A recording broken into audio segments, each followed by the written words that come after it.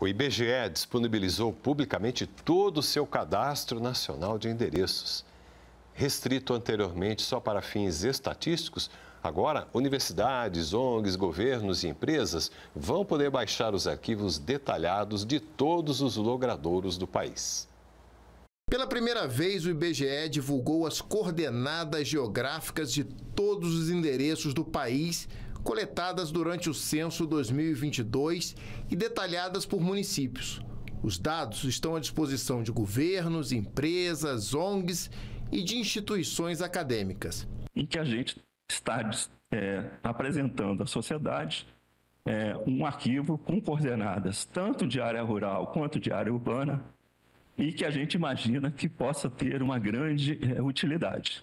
O censo 2022 registrou 111 milhões de coordenadas, com 90 milhões de domicílios particulares, 11 milhões de estabelecimentos comerciais, 264 mil escolas, 247 mil hospitais, 579 mil templos religiosos e 3 milhões de edificações em construção ou em reforma. Sem o trabalho dos mais de 180 mil recenseadores que trabalharam nesse censo, seria impossível é, conseguir ter como resultado da coleta esse retrato que a gente está apresentando para vocês nesse momento. É a primeira vez que o IBGE possui a localização precisa de todos os endereços do seu cadastro, que é atualizado completamente durante a coleta do Censo Demográfico 22. Os logradouros visitados fazem parte do Cadastro Nacional de Endereços para Fins Estatísticos, que sempre foi utilizado pelo IBGE em suas pesquisas,